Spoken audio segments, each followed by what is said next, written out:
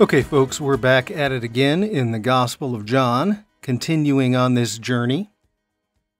Today we're going to look at John the Baptist, and particularly his use of some, call it first century Jewish hermeneutics, when he's asked to indicate who he is by the religious leaders who come down from Jerusalem. So we're going to get into that in a minute, but let me go through a couple logistical items before we get into the lesson.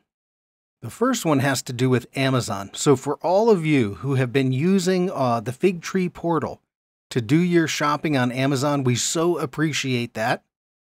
We appreciate that and we ask continue on because that definitely helps uh, the ministry. So we thank you for that.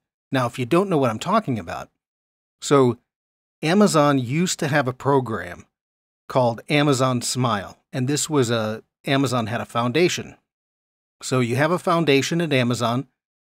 Anybody could go in, find their local church or whatever ministry.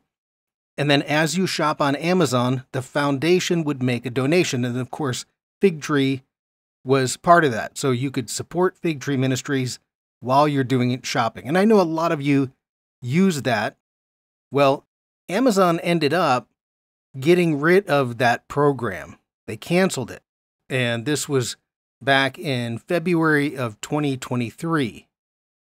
And so, what Amazon suggested to anybody who was on that is to move over to their partnership program. And it's basically like a marketing partnership. What happens then is we have a portal.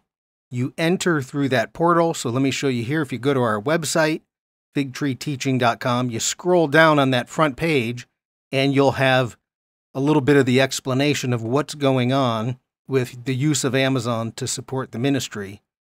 And right down there at this gray box, it says enter Amazon through the Fig Tree portal. And so what you do, you click on that, and then any shopping you do, it's encoded into the link, will be credited towards Fig Tree Ministries we're not able to see exactly which items are have a commission attached to them or not. If it qualifies, it qualifies. If not, it doesn't. But anyways, that's one way you can support the ministry. And like I said, we thank you everybody who's already been using that link. I've heard from a couple people that what they did was they went to our website, they clicked on this button, enter Amazon. It it opens up the Amazon on their computer, and then they save that link that opened up as their main Amazon link. So that way, anytime they go to shop at Amazon, it's automatically attaching that shopping experience to Fig Tree Ministries. So we appreciate that. If you haven't done that, please do it. It definitely helps to share the Amazon wealth with the any ministry out there or anybody who is attached to this program. And this is coming out right about mid October. So we're coming up on the Christmas season. Now you can do this year long, it doesn't matter, but coming up on the Christmas season, and we would certainly appreciate any shopping for Christmas done using our portal. Thank you. Now, second one. So, what I've been doing is I've been putting together my notes as I'm going through John, and I want to make these notes available to you. And so, what I do is something it looks something like this I put the text in the middle and then put my notes about what's going on in the text uh, around the edges. You can see the arrows. I also have it hyperlinked so that, you know, if you pull this PDF up on your computer and click that hyperlink, Malachi, it'll take you to a website that'll show you the, the verse that I'm talking about. But this, I think, can definitely help you because, as I mentioned, uh, I think on the last lesson, John is very dense. He's packing a lot of information. And it would definitely help if you're able to have in front of you uh, my notes of where we're going or what does this mean or what is this pointing at. And that will help you then in your studies to say, aha. I mean, it's just like a commentary, but it's just my notes. And so I don't think I'm going to cover, be able to cover everything that's in these notes, but we might be able to cover a good portion of it. So those are the two things, Amazon and then my notes. And so let's get on to the lesson here on John the Baptist. So the question we're asking is who is John the Baptist? Who does John the Baptist say he is? So when he's asked by the religious leaders who come down from Jerusalem, Who are you? John ends up giving them a cryptic answer. He gives them a cryptic answer from Scripture. And actually, what we're going to see today is he's playing with the Scripture. He's playing with the Scripture in a way to apply what's in Isaiah to himself. So he doesn't quote it directly as it's written in Isaiah. He alters the sentence a little bit, but that makes the verse about him. And of course, they know, the religious leaders know exactly what he's doing. So we're going to walk through this in this lesson today, show you what John the Baptist is doing, and show you that this is just considered a normal way for the sages and the rabbis of Israel to derive meaning out of uh, the text. Because we today, you know, you might think, hey, you know, he's not allowed to alter scripture like that. But what he's doing is something that was accepted in that culture. Paul actually does this all the time. He'll take a scripture from Isaiah and he'll alter it a little bit in the New Testament and apply it to Jesus. And part of the reason is that in the original Hebrew Old Testament, it can be the, the verses can be more ambiguous than we're prepared for. And so certain verses could be read one or two ways. There might be the more appropriate way, but you could also say, hey, let's, let's read it the other way just to see if we can learn anything. Okay, so this is kind of what John is doing. So let's read the verses that we're talking about first. So this is John 1 19 to 23. And what's happening is John, is, John the Baptist, that is, John the Baptist is having a conversation with the religious leaders concerning his identity. So, John 1 19 to 23. Just a couple thoughts. What's happening here? So, John's ministry is huge. For years after John passed away, he still had disciples following his teachings. So, it's having a significant impact. Well, if there's something going on that's having a significant impact, those religious leaders at the temple in Jerusalem, they're going to want to know what's going on. And this is especially true if anybody is hinting that John the Baptist may be the Messiah. Because in the early part of that first century in Israel, messianic fever was running high. And so there had been other charismatic leaders in the past who'd shown up on the scene claiming to be Messiah. This has been happening, and the temple authorities, particularly because of Rome, Rome and, and the oppression, the temple authorities, they want to know before a movement gets out of control. Okay, so here's what it says. So starting at verse 19. And this is John's testimony when the Jewish leaders, right, Jewish leaders in Jerusalem, they sent priests and Levites from Jerusalem to ask him, Who are you? Verse 20 And he confessed and did not deny, but he confessed, I am not the Christ. And then they asked him, What then? Are you Elijah? And he said, No, I'm not. Are you the prophet? He answered, No. And they said, This is verse 22 They said to him, therefore, who are you? Give us an answer to take back to those who sent us. What do you say about yourself? And now John's going to give him this cryptic answer out of Isaiah. He says, I am the voice of one crying in the wilderness, make straight the way of the Lord, as, the, as Isaiah the prophet said. So the question they're asking, who are you? And he gives, there's, notice there's three people mentioned there's the the the Messiah, the Christ. Okay? There's Elijah, and then there's the prophet. Okay? So why these three characters? Where are they pulling these from? Well, not the Christ, not the Messiah. And you notice John the Baptist simply offers that information up. He doesn't he doesn't they don't have to ask him directly. Now the Messiah that's the coming king of Israel who's been ordained by God. Many of the Jews there in the first century, particularly the Zealots, they were looking for a military type Messiah who would help them overthrow the Romans, just like that very first Passover when God overthrew the Egyptians. And those religious leaders in Jerusalem, particularly if you've built up your uh, cabal there and you're cozy with Rome and you have your cozy lifestyle, they don't want the masses forming.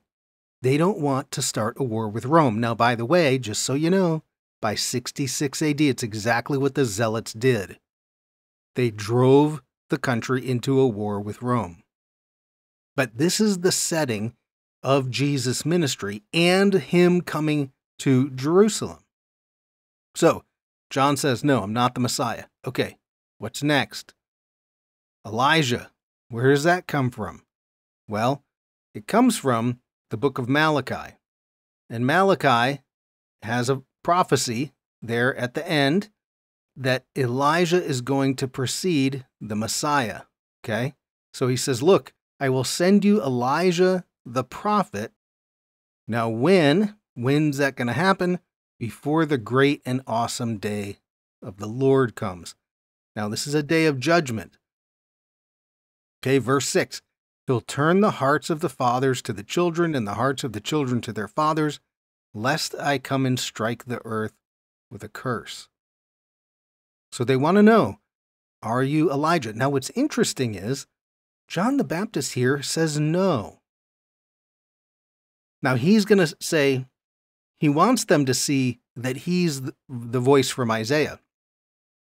But later, and in other Gospels, Jesus is going to say, no, John is the Elijah that's to come. We know from the beginning of Luke that he's born in the power of Elijah. So, who are you? You're not the Christ, you're not the Elijah, but what about the prophet? Who's this prophet? Where's that reference? Well, this one comes out of Deuteronomy, and it's Moses talking to the Israelites. And Moses says this He says, The Lord your God will raise up to you a prophet from the midst of you of your brothers like me. Now, prophet, like me, is Moses, meaning Moses had direct access to God. God gave Moses words. Moses then spoke them to the Israelites. And if Moses is a prophet of God, what do you have to do? Well, you have to listen to him. And the people didn't want to listen to Moses, right? And so it says right here, you shall listen to him. So if John is the prophet, meaning from Deuteronomy 18, then the religious leaders have to listen to him. And we're going to see this same type of questioning is going to go on with Jesus because they want to know the same thing. Are you getting your information directly from God? Because that means I have to listen to you. Okay, so that's where you get the prophet from. You shall listen to him. So, who are you? It's these three characters.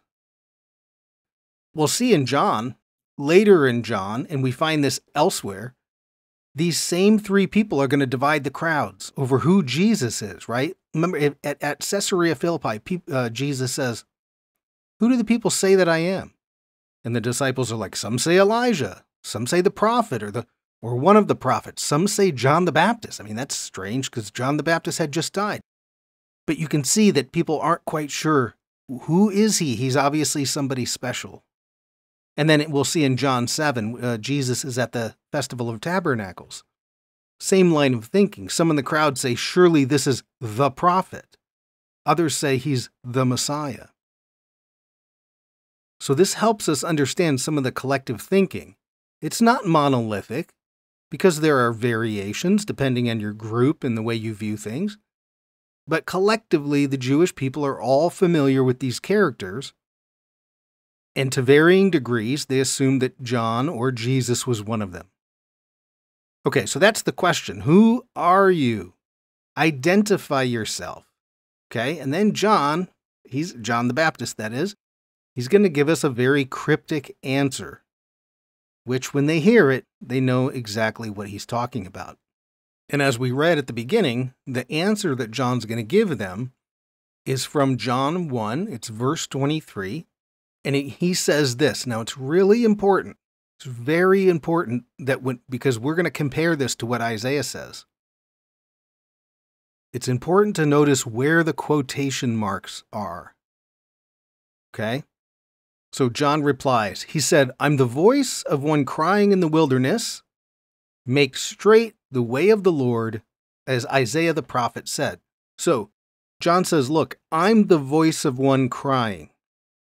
But here he says, I'm the voice of one crying in the wilderness, meaning he's placing himself in the wilderness. And then what does that voice that's in the wilderness say? Make straight the way of the Lord. Okay, so notice the quotation marks. Okay, now, now we have to go to Isaiah because we're going to go look at the original quote from Isaiah. It's in Isaiah 40. Isaiah 40, verse 3. So there's a couple things that we want to pay attention to here in Isaiah. A lot of the prophetic writings are in Hebrew poetry. And a very common technique within that poetry is parallelism. So, two sentences, and they're going to use differing terms that are going to uh, parallel one another. Okay? So, for instance, here's what it says Isaiah 43 A voice of one calling, colon. Now the quotation marks. In the wilderness, prepare the way for the Lord. Make straight in the desert a highway for our God.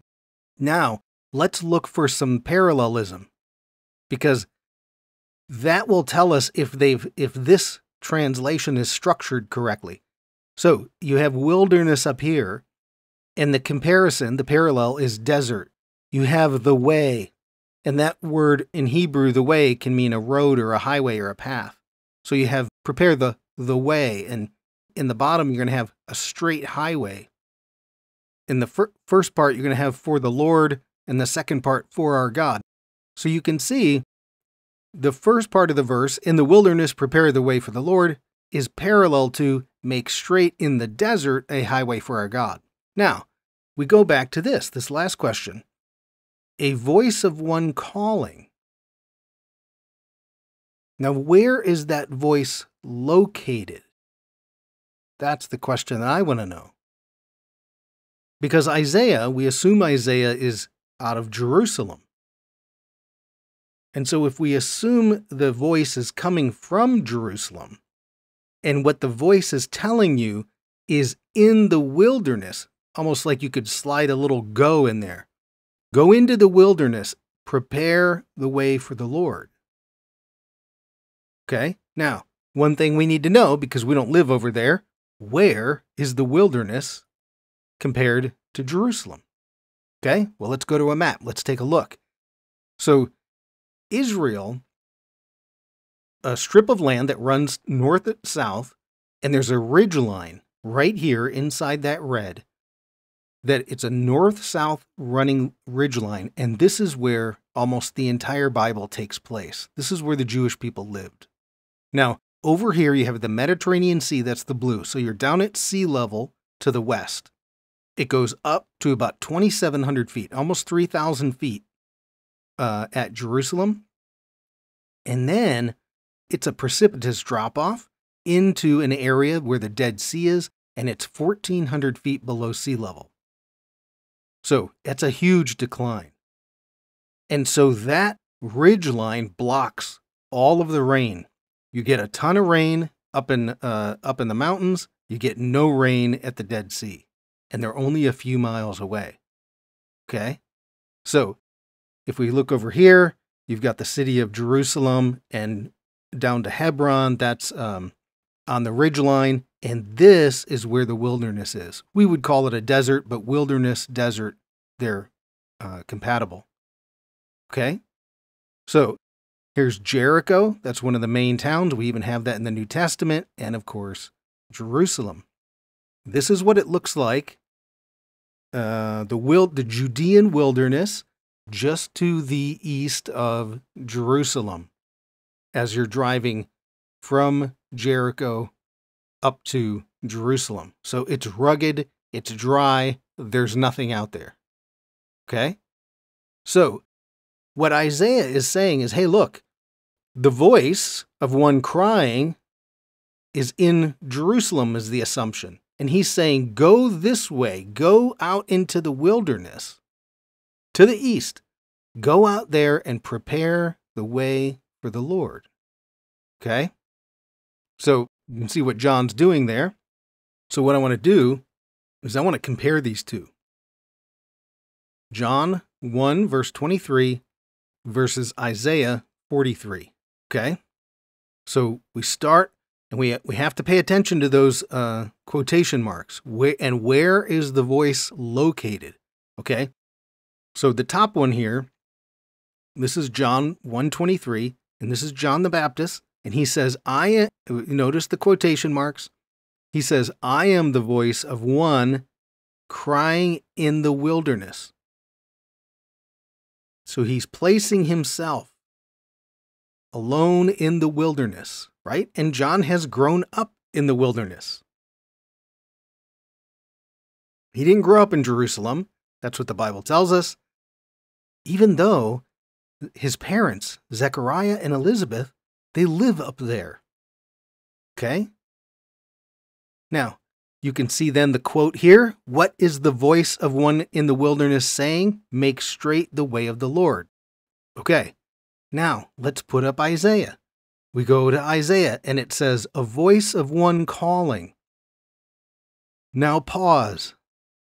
What's the voice saying? Notice the quotation mark, and the voice is saying, In the wilderness, prepare the way for the Lord.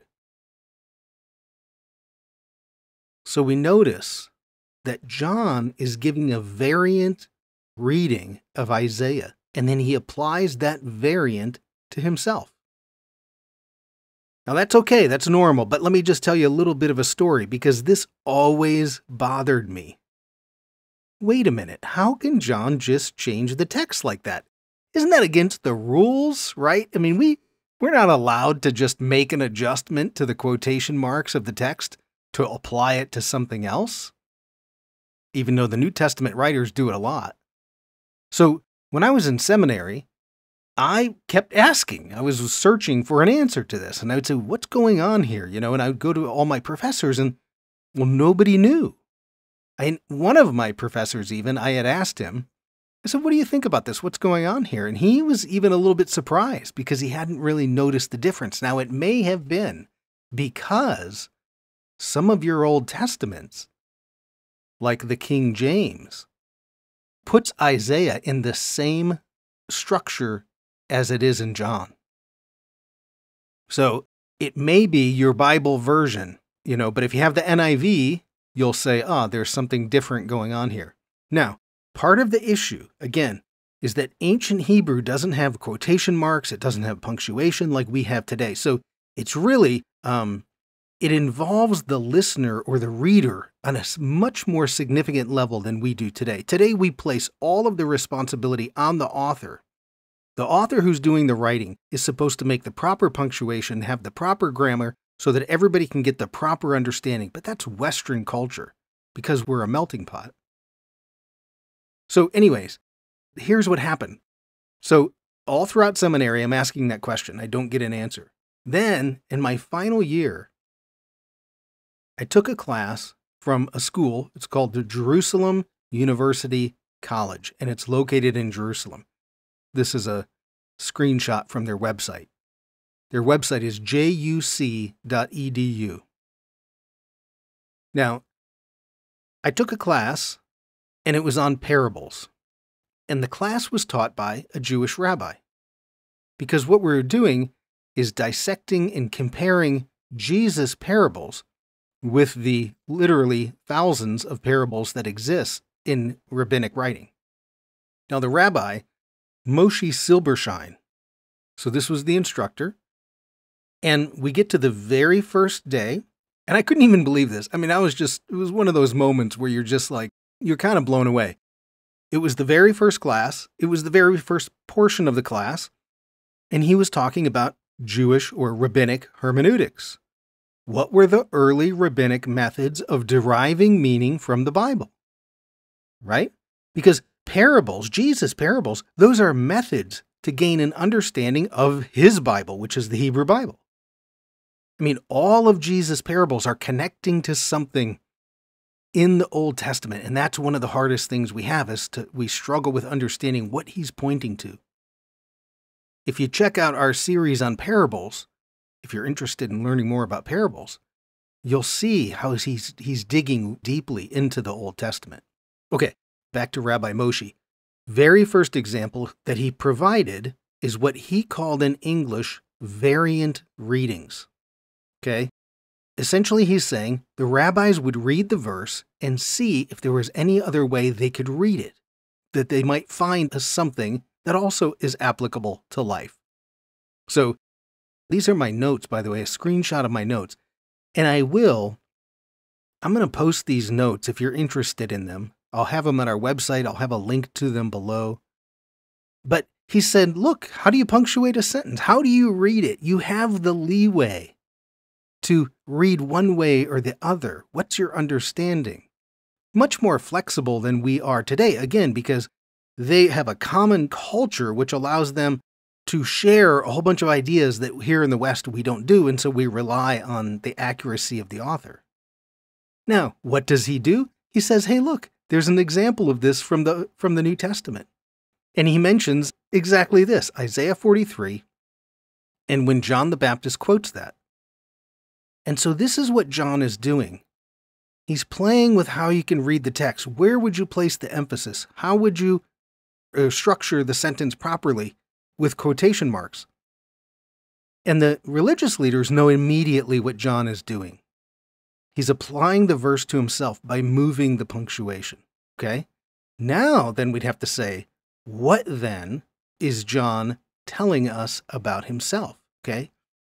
And to understand this, more fully, we have to then understand something about Isaiah 40. Because Isaiah 40 is an important chapter. Isaiah 40 begins the ending of this very important prophetic book. And the ending goes from chapter 40 to 66. Today, scholars refer to this last part of Isaiah as the book of consolation. Okay? Why? Right here, Isaiah 40, verse 1. Comfort, comfort my people, says your God.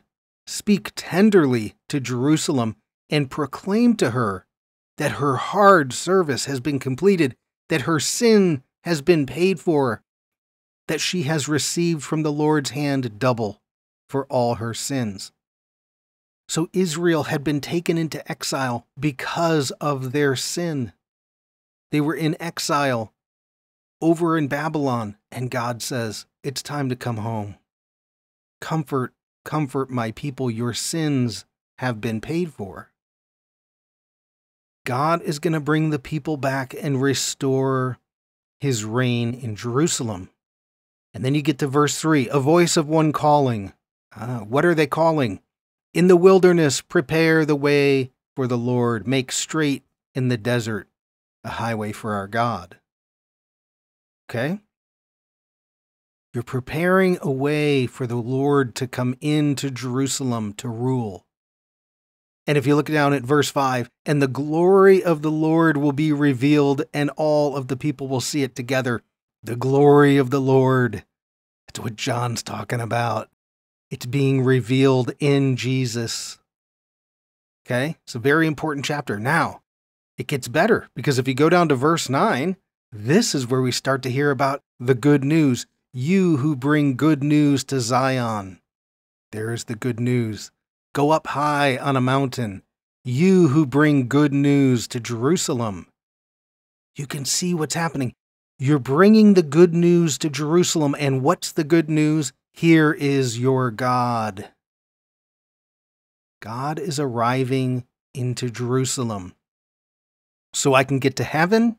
No. Because God is going to reign, sovereign power. He rules with a mighty arm.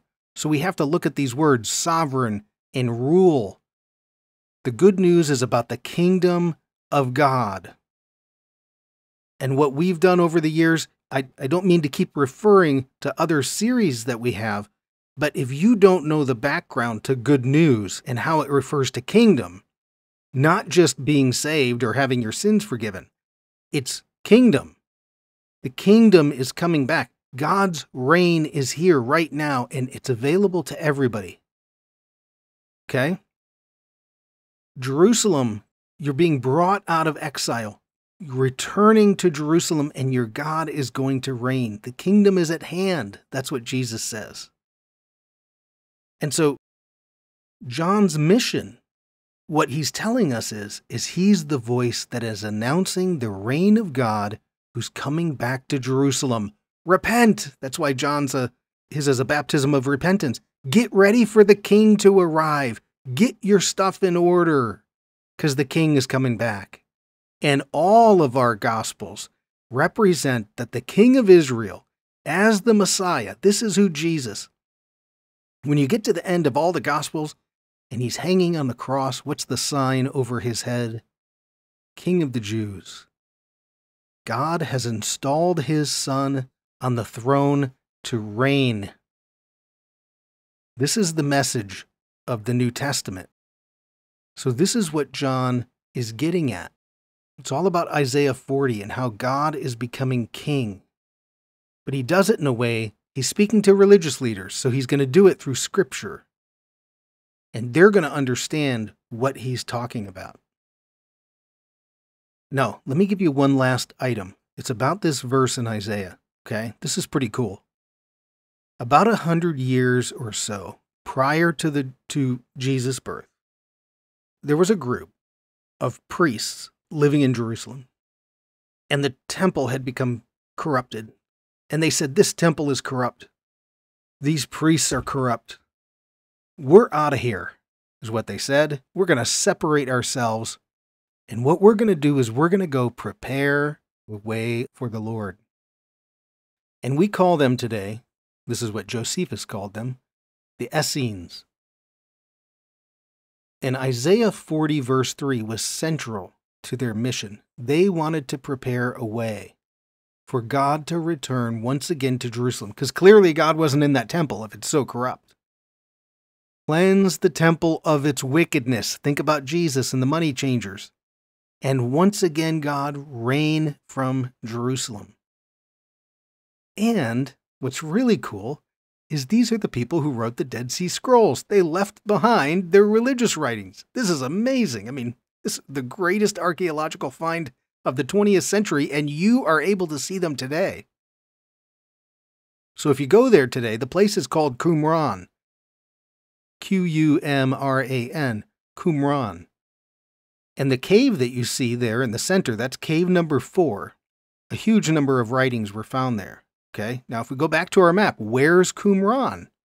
Okay, well, here's Jerusalem. This is Jericho that I had mentioned earlier. And Isaiah said, Go into the wilderness to prepare the way. They said, Okay, let's go in the wilderness. Can't go to Jericho because there's a bunch of priests there and they're all they're all corrupted. So where are we going to go? We went right down here in the wilderness, right next to the Dead Sea. Okay? Here's what it looks like today. It's obviously very dry, rugged. This is not an easy place to live. But they were so committed to the text and preparing a way for God to show up that they committed themselves to be out there. Okay, now, it's interesting to note here. So, if we're going to compare the Essenes and Isaiah 43, it's interesting to note that not only did John the Baptist identify himself with Isaiah 43, but so did the Essenes. In fact, since, since the discovery of the Dead Sea Scrolls, many scholars have said, well, clearly John is influenced by the Essenes. Perhaps he's not completely an Essene, but he's definitely associated or being influenced by them. Because think about it John the Baptist is a priest. He was born into a priestly family. That's what we learn in Luke 1. Zechariah and Elizabeth, they're both from the priestly line of Aaron, which means John the Baptist is a priest. And you find Zechariah, he's performing his duties in the temple. And the Essenes were priests, and they were priests who rejected those ruling at the temple, the corruption. And they said, No, we're going to go out and separate ourselves in the desert. And maybe Zechariah and Elizabeth were like, Yay, we don't want John growing up around these these Sadducees that are corrupt and, and then the ruling party in the temple. So they send him out to the wilderness for boarding school. Now, we don't know for sure, but it certainly is intriguing when you become familiar with the Essenes and you see the similarities. Now, I'm going to have I'm going to read one thing from the Dead Sea Scrolls. This is something it comes from a writing that that scholars call the community rule. These were the guidelines when you're entering the community of believers that went out into the desert, okay? So it's community rule. 1QS is just how you designate um, where they found it and in Qumran. And so it says this when these become the community in Israel. Now, when these, those joining the uh, Essene group, they shall separate themselves from the session of the men of deceit. Now, of course, those are the priests. Not too happy they are with those priests in the temple. Why are we separating ourselves? In order to depart into the wilderness to prepare the way of the Lord. There we go. Now they're going to quote, as it is written, in the wilderness, prepare the way of the Lord. And so they went out and they said, We're going to make a way for God to come back into Jerusalem. How do you do it? By studying the Bible. And they were committed. And the reason we have copies of Isaiah and copies of all of these Old Testament texts is they were committed to making copies of the Bible and studying the Bible. Now, what I think is interesting here, it says, uh, the study of the Torah, which he commanded through Moses to do, and according to that which the prophets have revealed by his Holy Spirit. Now, notice that the Ruach HaKodesh, the Holy Spirit. Okay? Now, here's what's really cool, okay? Check this out. Because if we go back to our map and you say these faithful Jewish priests and others who joined them read their Bible, they did exactly what Isaiah said to do go into the wilderness and they endured a difficult living conditions. And they were faithful to their Bible. And they made the copies that we can read today. And here's what blows your mind. When Jesus begins his ministry, where does his baptism take place? Where did Jesus show up? Right there in the Jordan River. It's not a few miles away. They went to the desert to prepare the way for the Lord to return to Jerusalem as king, and lo and behold, what happens? The Lord shows up to become king in Jerusalem.